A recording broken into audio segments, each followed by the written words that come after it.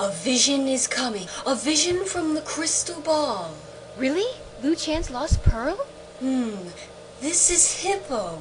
Seems he's trying his best to get some information. That's not what I meant. That's none other than Mermaid Princess Lucia. What is she doing here? But look, Lucia's right here, so what's the point of your prediction? Hmm? What is this? The crystal ball is showing me Nikora, but what does it mean? I didn't show her out. It's obvious! That's because it's not a crystal ball, it's a security camera.